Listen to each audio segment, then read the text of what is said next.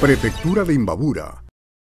Imbabura se viste de fiesta una vez más. Sus seis cantones están listos a recibir a cerca de 200.000 visitantes nacionales y extranjeros en la celebración de los Carnavales 2017. En las instalaciones del Consorcio de Gobiernos Provinciales del Ecuador con GOPE se ofreció una rueda de prensa.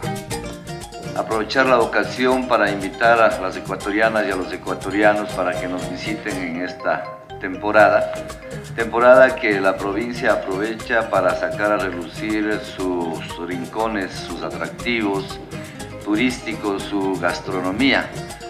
En la provincia de Imbabura el turismo fue elevado ya a eh, política pública a través de una ordenanza, está perfectamente integrada una comisión técnica de turismo que posibilita que no solamente de manera individual los cantones puedan promocionar sus atractivos turísticos, sino más bien integrados los alcaldes, el prefecto, el Ministerio de Turismo, la Asociación de Hoteleros, los emprendedores turísticos, las juntas parroquiales, todos ellos integran y eh, se trabaja a través de estrategias. Eh, empezamos nosotros en el mes de agosto aproximadamente a venderle al país, al Ecuador y al sur de Colombia, a decirle que Imbabura está en oferta.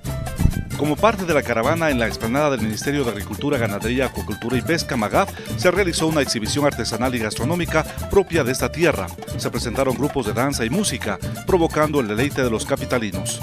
La tarea de promoción es parte de una estrategia emprendida por la Comisión Técnica de Turismo, en donde se incluyen los GAD y el Ministerio del Ramo, el sector empresarial, los emprendimientos y la academia. En una agenda de más de 180 eventos que constituirían desde el 24 hasta el 28 de febrero. Queremos invitar más bien a todos los ecuatorianos, ecuatorianas, a todos los quiteños y quiteñas a que disfruten Imbabura, visiten Imbabura. Están las puertas abiertas, como ha señalado el señor prefecto, es la oportunidad para que estando tan cerca podamos disfrutar prácticamente todos los atractivos turísticos y naturales, así como gastronómicos. El trabajo se enfoca en potencializar la actividad turística de Imbabura bajo una política pública que toma en cuenta a todo el territorio. Somos Imbabura. Somos Turismo.